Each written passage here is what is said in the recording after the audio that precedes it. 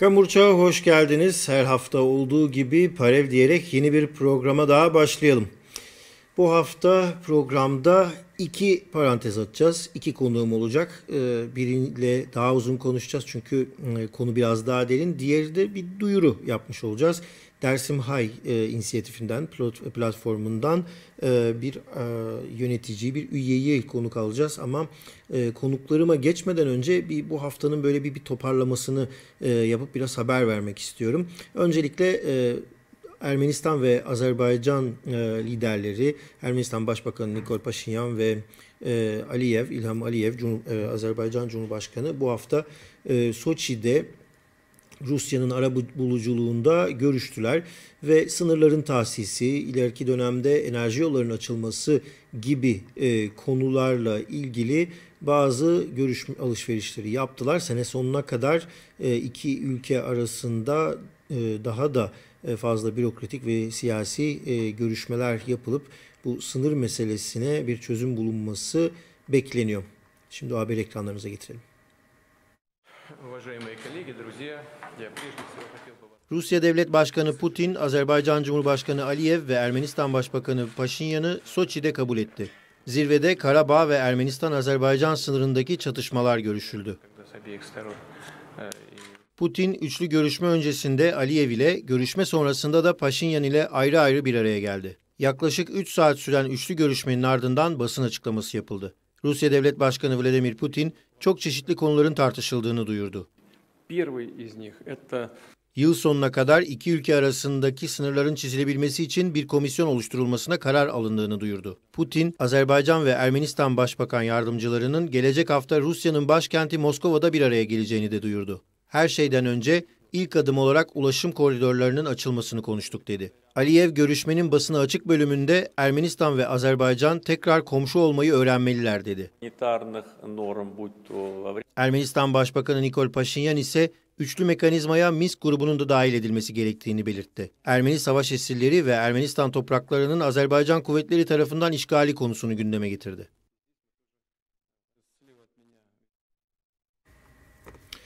Evet, Soçi'den memlekete dönelim. Malatya'dan bir haberle devam edeceğiz. Bu haberi Fikri Demir e, Demirbaş e, göndermişti. E, Malatyalı bir e, yazar ve takipçimiz. Malatya'da bir restorasyon çalışması yapıldı geçtiğimiz senelerde ve Malatya Ermeni Kilisesi restore edildi.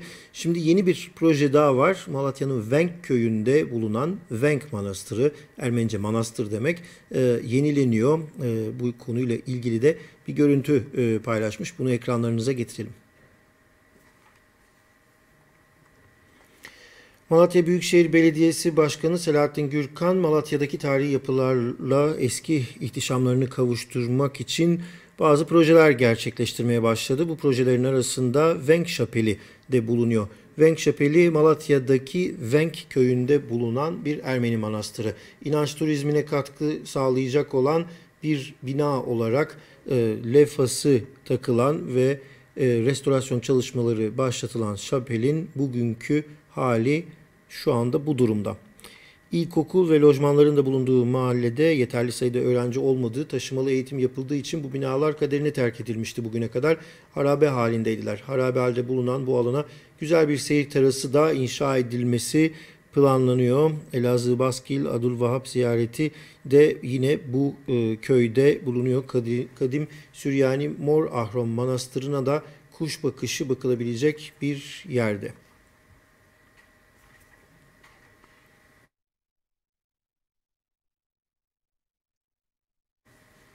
Evet bu şapelin bulunduğu yer ve restore edilmesi tabii çok güzel ama gördünüz oraya bir de bir teras kondurmak istiyorlarmış. Umarım e, hani dini bir yapının önüne arkasına birazcık e, betonlaştırarak oraya bir e, kafe, restoran haline getirmezler. Biliyorsunuz ne yazık ki e, Türkiye'de böyle yapılaşmalar çokça bulunuyor. Tabii bunların başında bir de kentsel dönüşüm sorunumuz var. Kentsel dönüşüm sorununa geçen haftaki programda da biraz değinmiştik konuklarımızla. Özellikle Niğde'deki e, kentsel dönüşüm projeleri ve e, Niğde'nin e, eski Ermeni mahallesi olan Kale Mahallesi'nde e, gerçekleşen kentsel dönüşüm konusunda da bazı gelişmeler var.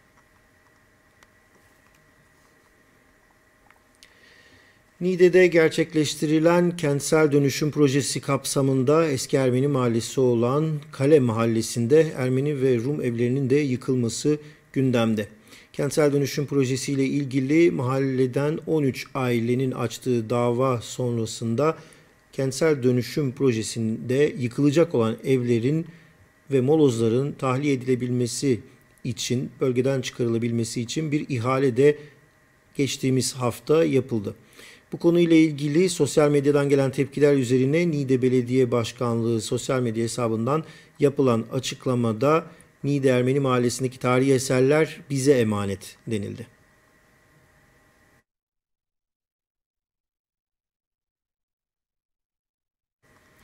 Bu haber bölümümüzü bir bayram kutlamasıyla tamamlayalım. Hanuka bayramı kutlanıyor. Yahudi seyircilerimizin, takipçilerimizin Hanuka bayramı kutlu olsun diyelim.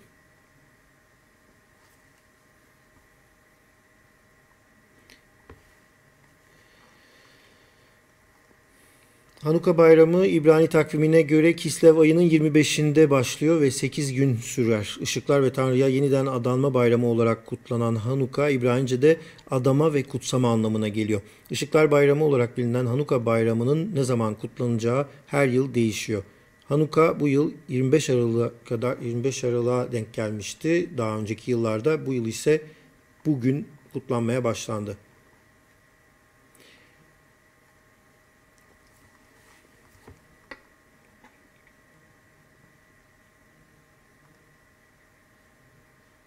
Evet bu vesileyle Yahudi takipçilerimizin Hanuka Bayramı'nı da ve izleyicilerimizin Hanuka Bayramı'nı da kutlamış olalım ve bu haftaki konumuza konuğumuza geçelim.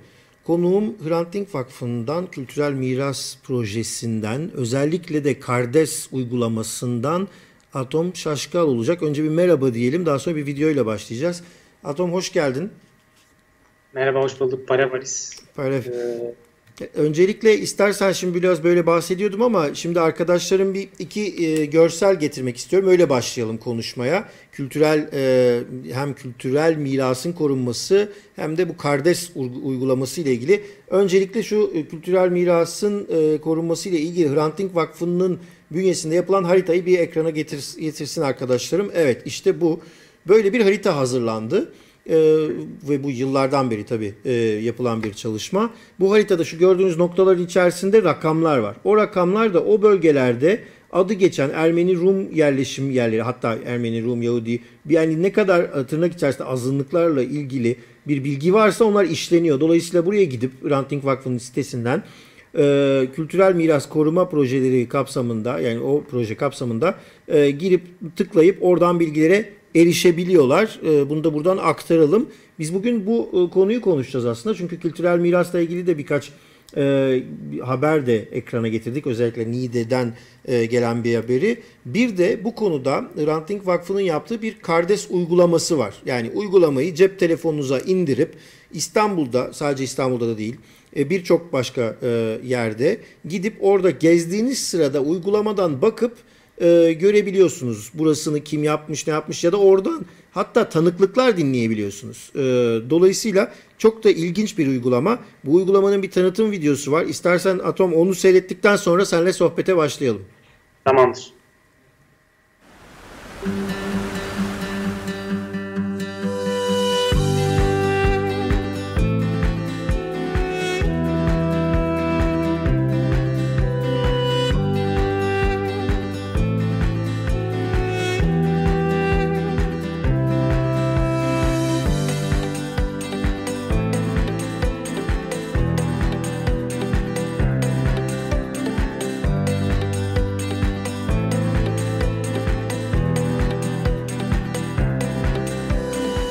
Süreyya Paşa olarak da bilinen Süreyya İlmen tarafından yaptırılan Süreyya Operası 6 Mart 1927 tarihinde gösterişli bir gala ile kullanıma açıldı.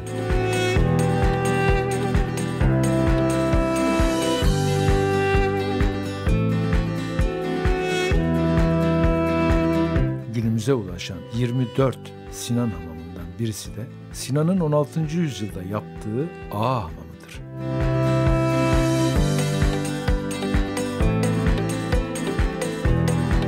19. yüzyıl sonlarında ünlü mimar Sarkis Balyan tarafından yapılan Kocataş Yalısı'nda neoklasik akımın etkileri görülür.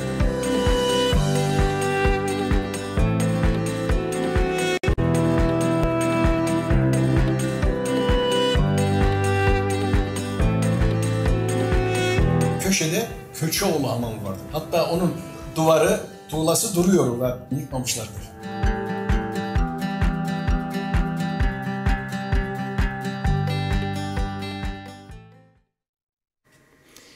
Evet, ücretsiz indirebilirsiniz seyircilerimize. Buradan bildirelim e, aplikasyonu e, indirip siz de bilgilenebilirsiniz. Peki, e, Atom Şaşkal, e, biz bu e, aplikasyonla birlikte bu projede neler var? Sadece İstanbul yok. Ee, Ali istersen şöyle başlayayım. İlk belki belki yeni duyanlar için de şimdiki belki yeni izleyicilerimiz için de Kardes biraz tanıtma amaçlı. Kardes e, yaklaşık iki sene önce yani 2020'nin Ocak ayında kullanıma açıldı. Yaklaşık yani iki, yani e, önümüzdeki ayda ikinci senesini kutlayacak. Kardes yani tam ismiyle aslında çok e, çok kültürlü hafıza turları rehberi. Adından da anlaşılacağı üzere aslında bir e, gezi rehberi tarzında tasarlanmış bir uygulama. Ee, İstanbul'un çok kültürlü ve çok katmanlı yapısını keşfetmek isteyen e, kullanıcılar için hem İngilizce hem de Türkçe dillerinde hazırlandı. Ee, ve bu uygulamayla da aslında Türkiye'deki e, çok kültürlü miras aslında tanıtmaya ve aslında yerel halkın da bunu kullanarak sahiplenmesini aslında amaçlıyoruz. Ee, Kardes uygulaması iki bölümden oluşuyor. Bir tanesi hafıza turları, bir tanesi de keşfet bölümü. Hı hı. Ee, istersen başta biraz keşfet bölümünden başlayalım. Başlayalım Evet. çünkü orası da biraz önce biraz önce bahsettiğin Türkiye Kültür Varlıkları haritasıyla da ilintili. Ee, keşfet bölümünde şimdilik aslında orası sadece İstanbul'la sınırlı. İstanbul'daki çok farklı e, kültürlerin, toplulukların e, yapılarına, kültürel miras yapılarının konumlarına ulaşabiliyorsunuz harita üzerinden. Ve böylece aslında çevrenizde hangi yapılar var öğrenebiliyorsunuz. Ve bu duraklara tıkladığınız zaman da küçük bir bilgi sayfası açılıyor. Oradan kısa bilgilere, fotoğraflara e, ulaşabiliyorsunuz. E, tabii kültürel miras deyince aklınıza sadece hani somut gelmesi lazım. Hem somut hem de soyut kültürel miras var. E, bir açıdan tabii İstanbul çok eski bir şehir, kadim şehir olarak adlandırılıyor.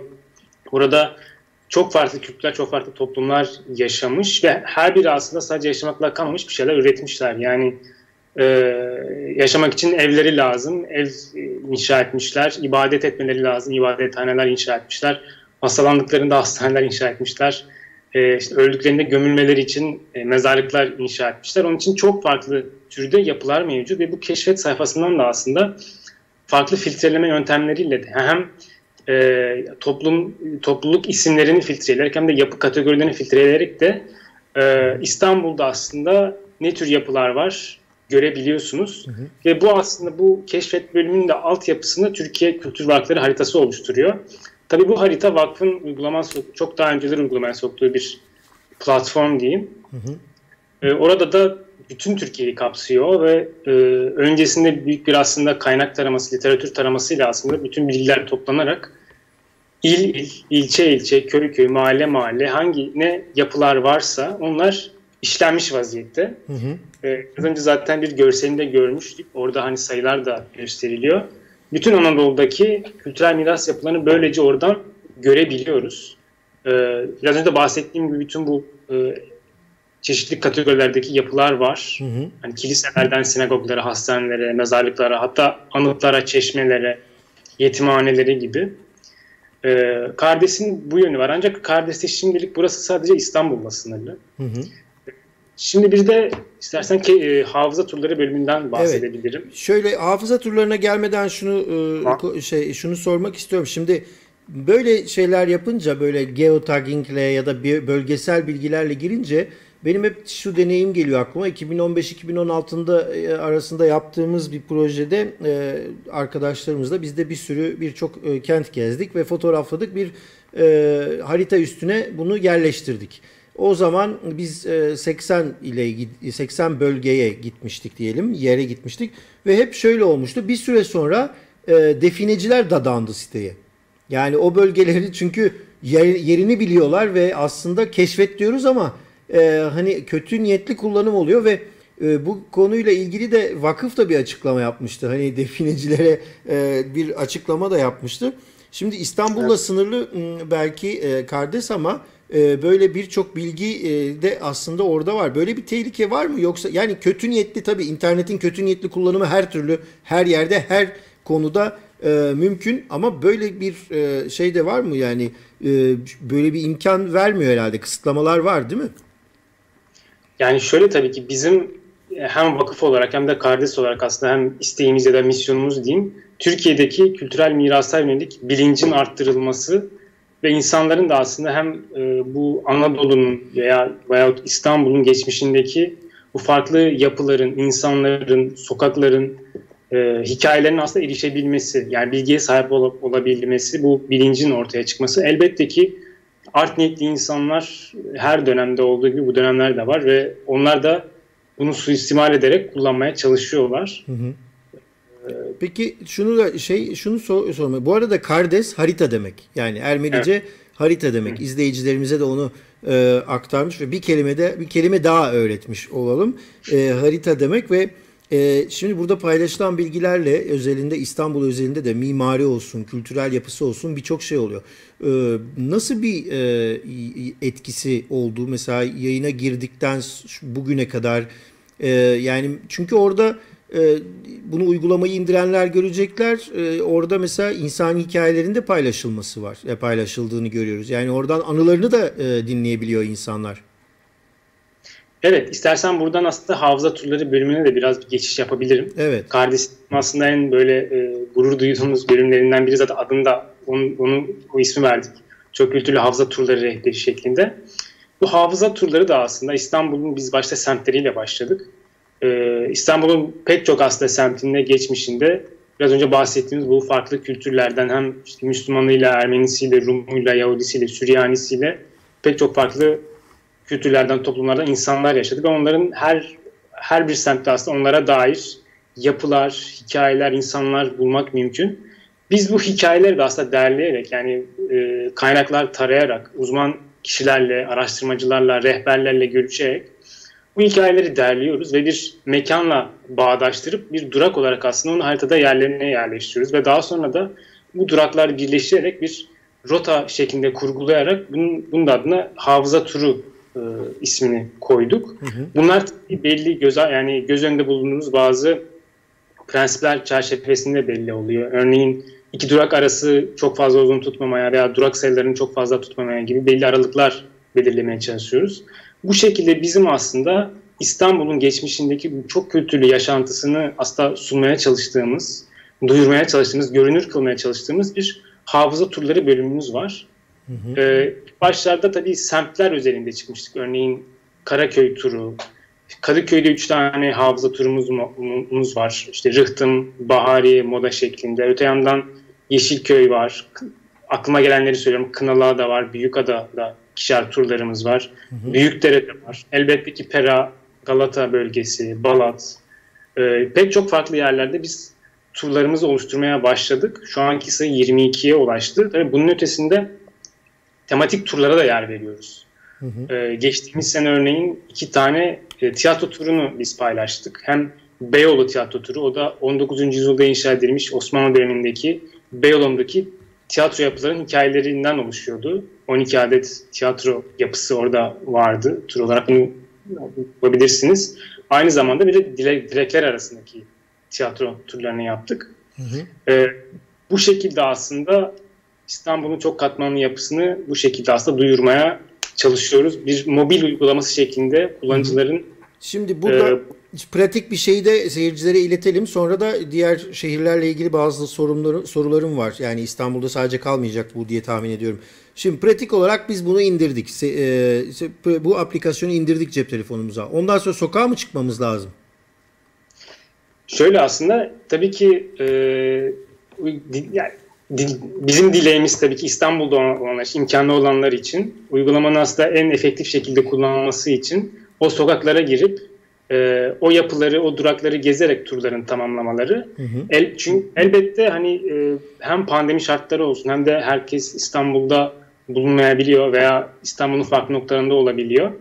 Kardis'in aslında biraz önce şimdi demin bahsettiğim gibi o şekilde güzel bir özelliği de var. İçerisinde seslendirmeleri e, mevcut olduğu için insanların ister gezerek, ister sokaklarda yürüyerek, ister de, ister de evlerinde dinleyerek aslında bu e, turları deneyimleyebiliyorlar. İstanbul'u keşfe çıkabiliyorlar. Buradan söz açılmışken şeye de değinmek istiyorum. Yani hem Türkçe hem İngilizce metinlerin yanı sıra e, biraz önce bahsettiğim gibi seslendirmeleri de mevcut ve bu seslendirmeleri de hı hı.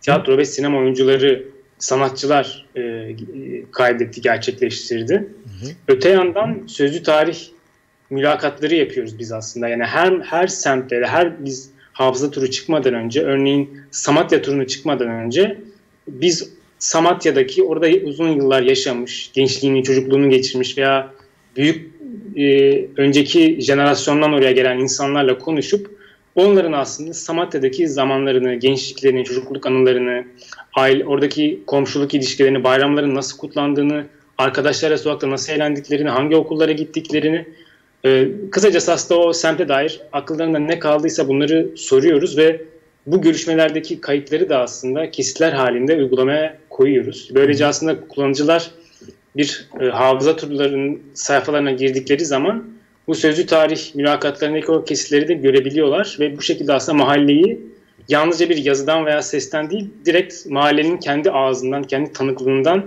tanık olabiliyor. Bu şekilde de deneyimleyebiliyor. Hı hı.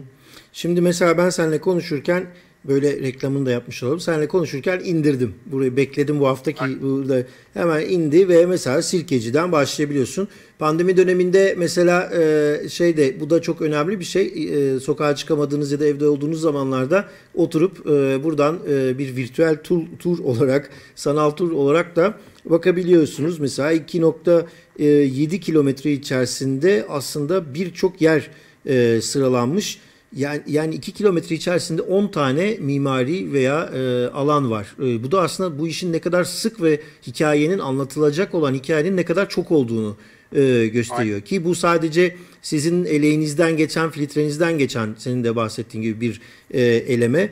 E, şimdi bu sadece İstanbul'da mı kalacak yoksa e, nasıl devam ediyor? Şimdi hani bir sene oldu e, bunun arkasından başka yerlerde gelecek mi? Evet zaten bizim de isteğimiz sadece bunun İstanbul'la sınırlı kalması değil aslında tüm Türkiye'ye yayılması.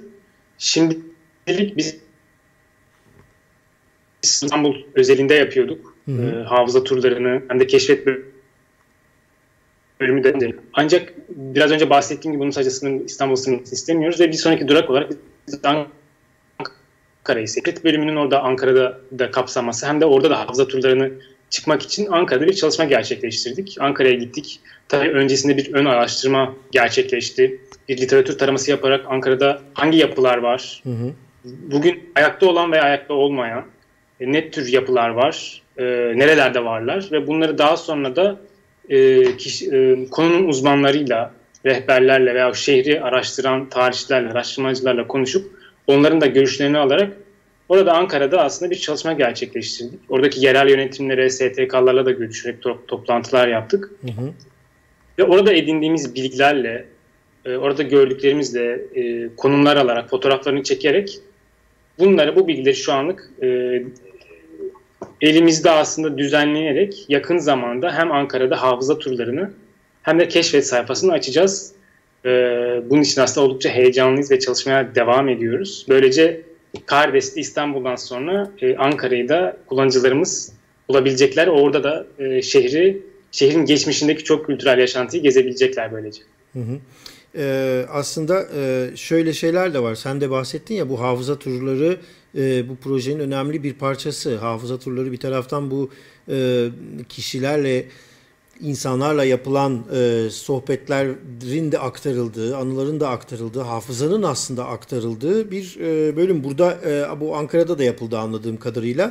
E, dolayısıyla orada da ilginç hikayelerle karşılaşmışsındır diye düşünüyorum. Bir de e, Ankara aslında şimdi konuşuyoruz ama Ankara'nın da yine bizim bugün haberlerde gösterdiğimiz gibi bir kentsel dönüşüm e, sorunu vardı. Bu sene içerisinde Garopaylan bu konuda soru önergesi de verdi. Ankara'daki Ermeni mezarlığı da gündem oldu. Hatta Ağustos'ta da e, bu konuyla ilgili çokça yazıldı. E, bu anlamda Ankara'da zor bir coğrafya mı mesela bir şey bula, bulmak ya da bulamamak açısından?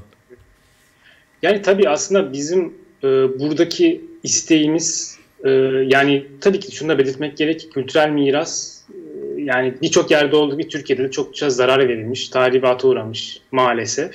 Hı hı. Ankara'da böyle bir şehir ancak bizim buradaki isteğimiz bu yapılar yıkılmış ya da kalıntıları kalmış ya da hiçbir izi kalmamış ahvah edelimden ziyade bu yapılar aslında günümüzde olmasalar bile bu yapılar bir zamanlar nerede olabilirlerdi?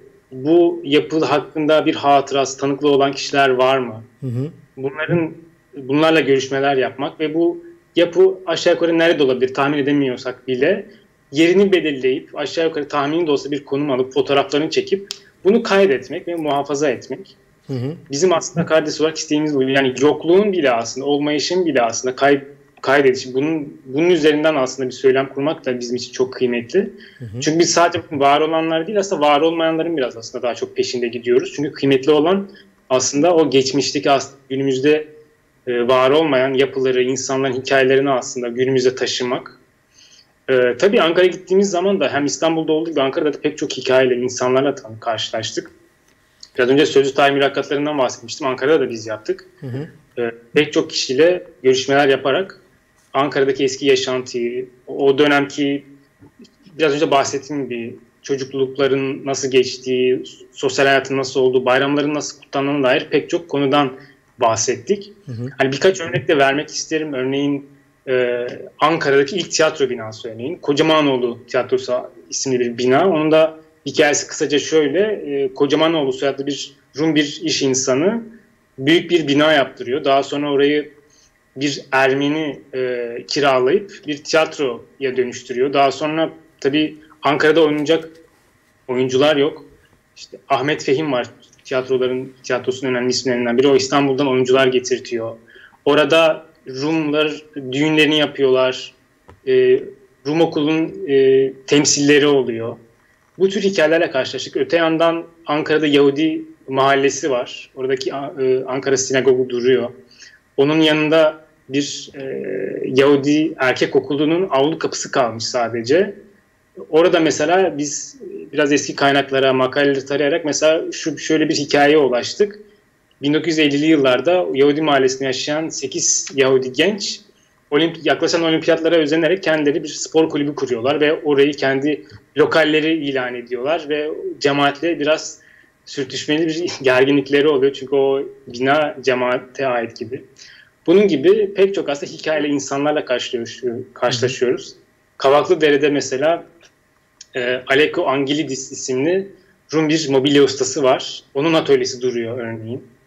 E, bu şekilde aslında hikayeye ulaşmak hem bizim de çok hoşumuza gidiyor, heyecanlandırıyor. Yani geçmişten izler taşıyarak aslında bunları biraz ortaya çıkarmak, görünürlüğünü arttırmak ve e, yerel halkın da aslında biraz bu toplumsal bilincini, kültürel miras bilincini e, arttırmaya bir yani bir nebze bile yardımcı olabiliyorsak bizim aslında ne mutlu bize. Evet. Herhalde e, bu konuda yeni neslin en çok ihtiyacı olan e, şey de bu. E, hani bu aralar çokça Z kuşağı Z kuşağı deniliyor ya cep telefonuyla doğan kuşak için herhalde cep telefonunda yine bir aplikasyonla tarihi e, bilgilere bu kadar kolay ulaşabilmek e, bir avantaj. Ama tabii bu da kolay değil. Birilerinin hazırlaması gerekiyor. Bunu da siz yapıyorsunuz işte. Atom Şaşkal çok teşekkür ederim. Eklemek istediğim bir şey varsa lütfen ekleyelim. Tekrar hatırlatalım. Kardes uygulamasını indir, indirebilirsiniz. Hatta izliyorsanız şu an programı bence indirin derim. Birkaç dakika alıyor. Ondan sonra da turunuza başlayabilirsiniz.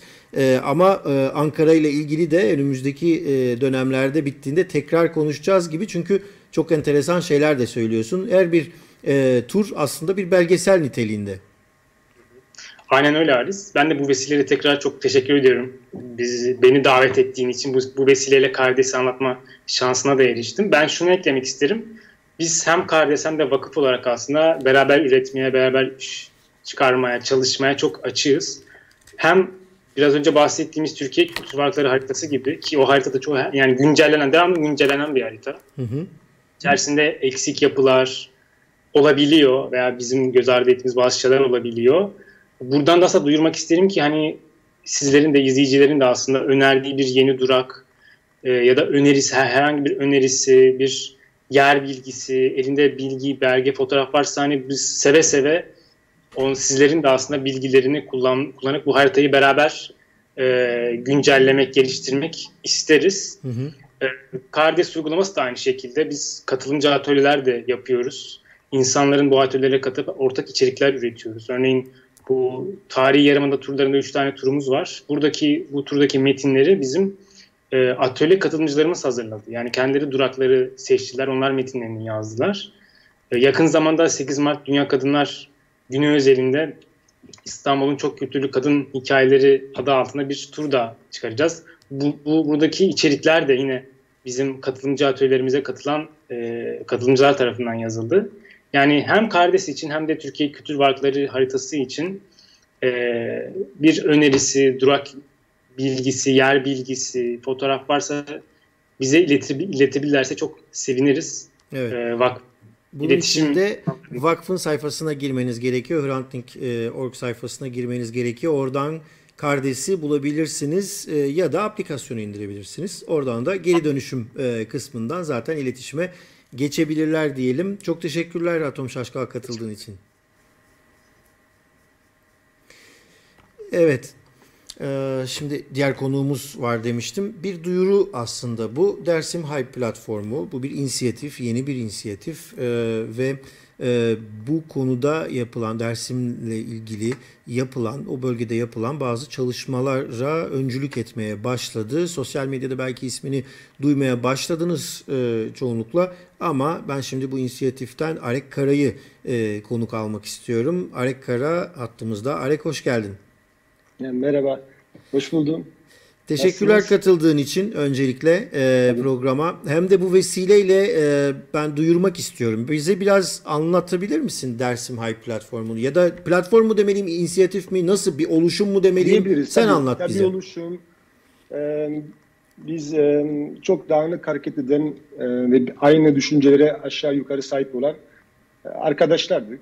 E, fakat bunun çok dağınık olması bizim e, gücümüzü azalttığını fark ettik. Yani yaptığımız her türlü hareketin bir e, öncülükle, bir şekilde bu tür kurumlarla e, daha güçlü olabileceğimizi, sesimizi daha çok e, sivil toplum örgütlerinde olsun, belediyelerde olsun, çalışma yapan arkadaşların da bu güce ihtiyacı olduğunu düşündük. Hı hı. Hem Avrupa'da hem de e, ülkede çalışmalarına destek sunmak için hı hı. E, bu tür e, çalışmayı başlattık.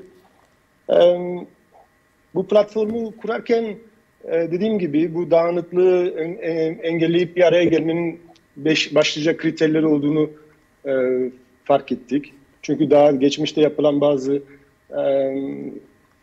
yaklaşımlar olmuştu ve biz bunların içerisinde bazı çıkarımlar yaptık. Bu çıktılarda şunu hissettik ki gerçekten de başlıca kriterlerimizden birisinin biliyorsunuz Ermeni denince aklılar direkt kilise dini misyoner e, şeklinde dersim dalgalandı. Hı hı. E, Ermeni kimliği tartışıldığı zaman sürekli onun e, bir kilise vasıtasıyla vaftiz olmayla işte insanlara dinini değiştirecekler.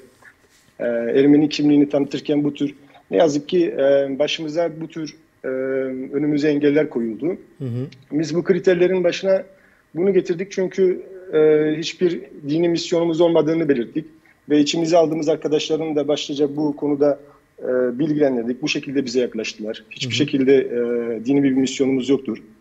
E, insanlarımızın Ermeni kimliğine sahip çıkmaları e, demek olmuyor ki işte kiliselerde dedik e, vahtiz olmalarını gerektiriyor. Çünkü gerçek de biraz nasıl diyelim e, çünkü biz gücümüzü e, şöyle düşündük. Yani oranın yerli yerinde yaşayan insanlar olarak e, gücümüzü ne patrikhaneden aldığımızı, Bunu belirttik. Ne de işte e, Ermenistan Cumhuriyeti'ndeki otoriteden aldığımızı ya da ne de Eçmiyatisinden almadığımızı belirtip olduğu gibi işte o tarihi Batı Ermenistan e, coğrafyasının o otokton halkından, tarihinden, kültüründen aldığımızı hı hı. biz bize yeteriz dedik. Hı hı. Bizim e, kimsenin onayına ihtiyacımız yok. O yüzden e, Dersim High platformu sadece Dersim'e değil, aynı zamanda coğrafyada yaşayan o e, e, kalan, orada şu anda yaşamını sürdüren milyonları aşan kitlelere sesleniyoruz. Hı hı. Yani bu vesileyle o arkadaşlarımıza da sesleniyoruz. Evet. Ee, evet. Aslında şöyle bir e, şöyle bir şey var değil mi? Bugüne kadar aslında böyle bu coğrafyada yapılan bütün çalışmalar e, hep böyle bir e, dine bağlantılı görülüyor ya da böyle bir ön yargı oluştu artık. Hani e, hem de bunu iş bir, bir misyonerlik faaliyeti olarak gören çıkıyor ya da dini öne sürenler oluyor. Yani önce din e, gibi e, oluyor. Aslında bizim bahsettiğimiz buranın, bu coğrafyanın otokton halkları yani oradaki e, zaten yerli halkı ve o insanların kendilerini nasıl tanımladıkları ile ilgili. Ve biz orada şu anda e, bunu diyebiliriz herhalde Dersim Hay adından da e, okuduğumuz gibi Dersimli Ermenilerin bir araya gelebildiği bir platform e, oluşmuş durumda ve e, sosyal medyada gördüğüm kadarıyla da aktif bir şekilde farklı bir alanda çalışıyorsunuz. Yani mesela bugün benimle paylaştığın bir şey aslında şu an Türkiye'nin bütün e, vatandaşlarının, yurttaşlarının sorunu olan ekonomik kriz üzerinden birbirlerine bir yardım kampanyası başlatıyorsunuz. Bunu hem Ermeni toplumu da daha önce bu programda da konu etmiştik. Kendi içerisinde yapıyor ama e, bir anlamda siz Dersim'deki ve bölgedeki o çevresindeki Dersim ve çevresindeki insanlara ulaşmış oluyorsunuz ya da onlar size ulaşıyor. Ee, öyle böyle böyle bir çerçeve çizebilir miyim? Doğru mu bu? E, çok doğru. E, çünkü daha yeni bahsettiğim o Ermeni e, temsilcileri, otoriteleri bugün ne yazık ki oradaki halk hiçbirinin umurunda olmadığını burada altını çizelim. Orada yaşayan bir halk var. Bu vesileyle biz orada kimin Ermeni kimin Ermeni değil diye çalışmalar yapmanın dışında oradaki toplum en azından bazı e, sosyal aktiviteler, dayanışmalar yapmamız gerektiğini düşündük. E, ve bu kafamızı bu şekilde yoruyoruz. Yani daha çok e, nasıl oradaki topluma yardımcı olabiliriz, nasıl kalkınabiliriz, nasıl bir şekilde o insanların omuzuna elimizi koyabiliriz, nasıl kardeşlik bağlarını güçlendirebiliriz. Çünkü e, Dersim gerçekten de özel, güzel bir yer. E, Dersim'de sanırım Ermenilerin en rahatça sokakta Ermeni kimliğiyle yürüyebileceği e, diyebilirim ki tek coğrafya diyebiliriz buna. Çünkü toplumda Dersim coğrafyasının, Dersim insanının Ermeni kimliğine, Ermeni tarihine, kültürüne gerçekten çok hürmeti ve sevgisi var. Biz bu kardeş halkımızı, bu e, aynı e, kökten geldiğimiz bu kardeş otokton halkımızı halkımızla birlikte bugün yaşadıkları e, kimlikle bir bütün o haline gelmeye çalışıyoruz. Hı hı. Onlara bizim anlatmaya, kendimizi anlatmaya çalışıyoruz. Ve getirdiğimiz projelerle gerçekten bu samimiyetimizi aktarmak istiyoruz. Mesela size gönderdiğim arı Evet. Ee, Buna değinmek istiyorum. Şunu şunu söyleyeyim ondan sonra bunu soracağım. Bu şimdi bu proje bu arıcılık projesi mesela. E, Dersim High platformunun e, yaptığı bu mesela şöyle değil. Bu yurt dışından yani bu platformun yaptığı iş bu yurt dışından oraya para gönderip işte insanları e, hani sanki sürekli bir yardım e, kisvesi ile kendine çekmek çal- çekmeye çalışmak değil. Sizin yaptığınız aslında yatırım, insana yatırım. Yani ki evet, evet, insana evet. yatırım oluyor ve bu şimdi şu anda mesela bir, bir gönderdiğim ve anlatmanı isteyeceğim olan proje aslında e, o kadar e, özveri gerektiren ve o kadar da yerinde bir iş ki yani insanlara siz arı kovanı almayı teklif ediyorsunuz değil mi? Biz e, şöyle orada yer, yerelde yaşayan arkadaşların talepleri üzerine, onların bize ulaştırdığı projeleri değerlendirip buradaki arkadaşlarla e, e, görüşüp e, bu konuda mutabık kaldık ve arkadaşların teklifi şuydu, e, işte ailelere arı kovanı verelim falan. Biz burada bunu işler, istişare ettikten sonra şöyle düşündük, şöyle yaptık. E, arı kovanını dedik, biz bu ailelere 20'şer 20 kova arı, arı kovanı sağlayalım. Hı hı. Bu ürünler de genelde Dersim'in tabii her coğrafyasında e, biraz zor. Çünkü Dersim'in bugün kuraklıkla birlikte E, kısıtlı e, coğrafyalarda bu aracılık işi şu anda daha yoğun. E, bu seçtiğimiz ilk etapta amacımız 50'ye yakın bir aile. İlk etapta bu aracılık e, 20 20 kova verdikten sonra yıl sonunda e, reküpere yaptığımız yani aldığımız ürünleri hı hı. biz o ailelerden almayı taahhüt ediyoruz. Yani biz onlarda bunun garantisini veriyoruz. Hı hı. Yani ürettikleri yaklaşık 200 kiloya yakın balı biz onlardan almayı taahhüt ediyoruz ve alıyoruz. Gerekli emeklerin karşılığını, emeklerin karşılığını fazlasıyla vererek. O ürünleri getirip burada düzenleyeceğimiz aynı şekilde paralel olarak düzenleyeceğimiz geceler olabilir ki daha önce 2014'te yapmıştık en son e, Dersim Hay Gecesi'ni. O gecelerde olsun işte bunun satışını yaparak hem bir e, otofinans sağlamak istiyoruz. Sizin bahsettiğiniz o çok önde benim en çok işte kriterlerimizden birisi hazır yardımlar değil de hani dediğiniz gibi bu tür otofinans sistemlerini geliştirip sonra sistemi kurduktan sonra çekilip başka işlerle uğraşmak istiyoruz. Yani arı işinde e, oturttuktan sonra hı hı. başka büyük projelerin de e, önünün açılacağına inanıyorum yani. Biz hı hı. E, bu bir pilot projedir. Daha sonra bence e, çok iyi bir e, sinerji oluştu. Hı hı. E, bence e, hay iş adamlarının da de, destekleriyle, buradaki e, yaşayan insanların destekleriyle, yerelde yaşayan insanların e, sunumlarıyla, projeleriyle özellikle bu e, perspektifte yardımlarımıza ve dayanışmaya devam edeceğiz. Hı hı. E, bu çok önemli. Bakın mesela çok güzel örnek vereyim size başka. Size anlatmamıştım. E, Dersim Pertek ilçesinde birçok köyün işte insanların, köylünün yetiştirmiş olduğu yöreye ait e, dinleyenler bilir Dersimler. E, üzüm pekmezi olsun, tut pekmezi, orcik e, ya da pestil dediğimiz ürünler o bölgenin halkının üretmiş olduğu ürünlerdir. Biz bunları buraya getirdik. Onu sattıktan sonra inanır mısınız iyi çok yüksek fiyata satabiliyoruz burada. Yani işte yani o değeri verdikten sonra aynı elde ettiğimiz parayla yeniden siparişlerimizi verdik. Ettiğim, e, verdiğimiz siparişleri aldıktan sonra buradaki Cenevre'deki kiliseye kermeste satış yapıp kendilerine e, bir bütçe olsun diye bir yardımda bulunduk onlara. E, hem bu şekilde Dersim'deki halk da bir şekilde katkımız olmuş oldu. Oradaki üreticiye katkımız oldu. Orada onların devamlılığını bir ümit doğdu onlara. Yani ellerindeki o malı bir şekilde o yaz çalıştılar. Geçen yazdı yani bu geçtiğimiz yaz. Bu insanlar çalıştılar, emek verdiler. O dutları topladılar, onu üzüm pestil haline getirdiler ve onları burada satıp o insanlara emeklerinin karşılığını vermek bir dahaki yılda yine o sinerji yaratacaktır, o enerji yaratacaktır. Çünkü onlar da sanırım çok mutlu oldular. Hı hı. Bu da mesela böyle bir çalışma. Hı hı. Ayrıca kafamızı biraz yorduğumuz zaman bu tarz gittiğimiz zaman gerçekten de ciddi şeylere ulaşıyoruz. Yani e, özellikle Dersim'de biliyorsunuz çok fazla siyaset yapılır. Çok e, ama biz bence kafamızı biraz da orada yaşayan kalmış olan gerçekten de nüfus çok azaldı. O kalan halka yormamız lazım çünkü göç devam ediyor hı hı. Dersim'de.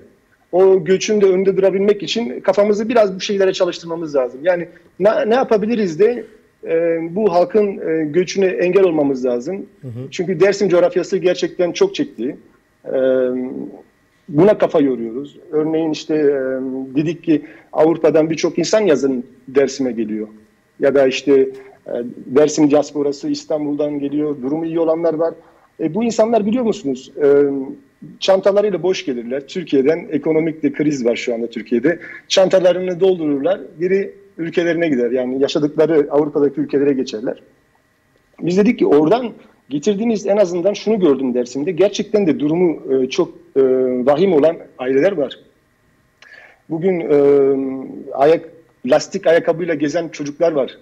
Yani ben bunları kendim sosyal medyada gördüm, şaşırdım. Ya bunun bir ihtiyaç olması bu zamanda e, ve bunun e, tedarik edebilmemiz lazım ve bunu hiç para koymadan kendi e, oto e, jere yaparak bunu hı hı. E, sunabiliriz oradaki topluma. Çok basit bazı önlemlerle bunları gerçekleştirebiliriz. O yani yüzden diyor, yani e, diyorsun ki valiziniz boş gitmeyin. Bir konuda e, yardımınızı ya da tabii, kıyafeti tabii. oraya koyup nasıl bu Avrupa'da insanlar kıyafetlerini gidip e, bağışlıyorlar vakıflara ya da e, evet, evlere, evet, çocuklara evet e, yani Darül gibi yerlere aynı şekilde götürüp oraya e, yine aynı şekilde bağışlayabilirsiniz. Bu anlamda e, şöyle toparlamak istiyorum. Zamanımı da doldurmayayım. Dedim Tabii, 15 dakika tabii. tutacağım seni çünkü.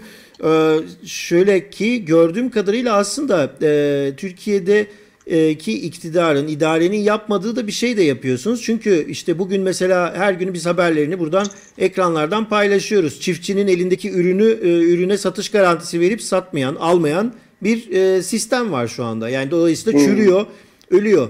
Şimdi öyle bir e, iki örnekle sadece e, anlattın. E, onu da mesela işte birincisi bu pestillerin nasıl üretilen şeyin boşa gitmemesi ve insanın emeğinin karşılığını alabilmesi ve bunu ulaştırabilmesi bir yerlere. O ulaştırdığı yerde de sizin onu buradaki bir kilisede kermeste sunuyor olmanız ve yine bir burada başka bir yine vakfi işe pardon addedilmesi tamamen bir aslında yerinde üretim ve e, kimliği koruma projesi gibi. Evet, evet.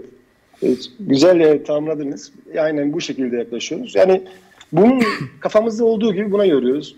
Ee, zamanı sanırım doldu öyle mi? Şey Yo yapalım. ama bir şeyler daha ekleyebilirsin. O da şey değil. Ee, eklemek istediklerin varsa çünkü belli ki biz bu konuda seninle sizle daha çok ko- e, konuşacağız. Konuşalım, evet. Yani mesela konuşalım, evet. ileriki dönemde bu mesela kovanlarla ilgili projenizin nasıl gittiği, nereye vardığı e, yani 50 aileye 20 kovandan bahsediyoruz. Çok az bir şey de değil. Büyük bir Tabii, e, aslında cid- şey bu. ciddi ciddi bir proje çünkü arkasına durmak gerekir. Ee, ben de e, bunun medyatörlüğüne sun, e, ne soyunmuş bir insanım. Burada aracıyım aynı zamanda. E, çünkü ciddi bir finans kaynağı gerektiriyor bu. Yaklaşık her bir arı kovanı yaklaşık bin yani bahsettiğimiz 20 kovan bir bin dolara falan mal oluyor. Bir de bu üretilen malın buraya gelmesi, burada e, satışı için e, ayarlanması bunların hepsi bir e, şeydir. E, bir e, lojistik bir çalışma gerektiriyor. E, bunu ben başta şunu söylemek istiyorum. Hani insanlar muhatap arayacaktır. E, bize ulaşan insanların özellikle yerelde çalışma yapan arkadaşların öncülüğünde e, çalışma yaptığımızı aktarıp e, bölgede Dersim'de bir Hay Dersim dergisi çıkarttığımızı da unutmadan söyleyeyim. Yakında bir dergi e, e, çıkacak yakında. Hem Dersim halkında oradaki yaşayan halkın da e, sorunlarını dile getirdiğimiz, e, Dersim tarihinin anlatıldığı, Dersim Ermenilerinin tarihinin anlatıldığı, Ermenistan tarihinin anlatıldığı küçük bir dergi çıkacak. Bu dergiyle birlikte bu derginin mesela bu da bakın. Mesela o dergiyi burada satacak olan öğrencilere katkıda olunsun diye aynı şekilde onun da açık bırakıyoruz. Yani o dergiyi satacak olan üniversite öğrencileri olacak. Dersim'de olsun, İstanbul'da olsun ya da işte Avrupa'da geldiğinde. O dergiden kalan getirilerin de o öğrencilere bir harçlık olmasını istiyoruz. Hem o dergilerin okunmuş olmasını sağlayacağız. Evet. Em, hem de öğrencilere katkıda bulunulsun. Bu Hay Dersim dergisini e, ve bu arı kovanlı, arı e, teşebbüsünü arkadaşımız e, Asadur arkadaş bize bu projeleri sundu. Kendisi aktif olarak bölgede çalışma yapıyor. Belediyeden de büro talebinde bulundu. Onlar da olumlu yanıt verdiler. Çok yakın bir zamanda Dersim Hay platformunun yani Dersim Hay dergisinin hem kurumsallaşmış bir şekilde Dersim merkezde garın garında, fait, otogarında e, bir büromuza sahip olacağız. Çok güzel. Ee, Peki en yani buradan bir- bu bürodan mı ulaşabilecekler mesela sosyal medyadan ve böyle e, şey- nasıl ulaşacaklar insanlar? Hem yardım mesela- talep edenler hem de yardım etmek isteyenler ne yapacak? Nasıl? Yardım etmek isteyen arkadaşlar bizimle e, diyaloğa belki şu anda e, Facebook üzerinden geçebilirler. Şu anda aktif olarak orada biraz bir şeyler paylaşıyoruz. Ve e, üzerinde As- Dersim'de de Asadur arkadaş yani Ahmet Balkız e, çok aktif çalışmalar içerisinde. O arkadaşı da kolaylıkla herkesin ulaşabileceği bir arkadaştır ve birçok sivil toplum örgütü olsun, e, oradaki e, dernek çalışmaları Evet. yapan arkadaşların tanıdığı bir isim. E, kendisine rahatlıkla ulaşabileceklerini düşünüyorum. Evet. Çok Ve teşekkürler. belki vasıtanızla Tabii uğraşacaklardır. bu yayını izleyenlere zaten biz yayının altında linkleri paylaşırız. Ee, böylelikle oradan da ulaşabilirler. Öte yandan e, bugün bana gönderdiğiniz flyer'ı da e, paylaşalım e, yayınla birlikte. Böylelikle e, nasıl ulaşabileceğinizle ilgili orada bir telefon numarası da var zannedersem. Ya bizden e, sizden e, Dersim Hay'a, Dersim Hay'dan Dersim halkına e, şeklinde bir zinciri oluşturmuş olalım. E, Alek Kara çok teşekkürler katıldığınız için. Belli ki daha uzun ve geniş sohbetlerde bir araya geleceğiz. Mutlaka, mutlaka. Teşekkür ederim, sağ olun. Ben Hoşça teşekkür kalın. ederim. İyi günler. Evet, Arek Kara'yla Dersim High platformunu ve çalışmalarını konuştuk. Dersim'de otogarın orada bir de ofisleri olacak yakında. Dergilerini de oradan edinebileceksiniz, takip edebileceksiniz. Aynı zamanda da e, Dersim'deki projelerine de e, katkı sağlayabilirsiniz. Ya da projede yer almak istiyorsanız Facebook üzerinden e, ya da bu programın linkiyle birlikte benim sosyal e, sosyal medya hesabımdan paylaştığım e, telefonlardan ulaşabilirsiniz diyelim. Bu hafta Gamurç'u burada tamamlayalım. Haftaya görüşmek dileğiyle Tıdır Sütün.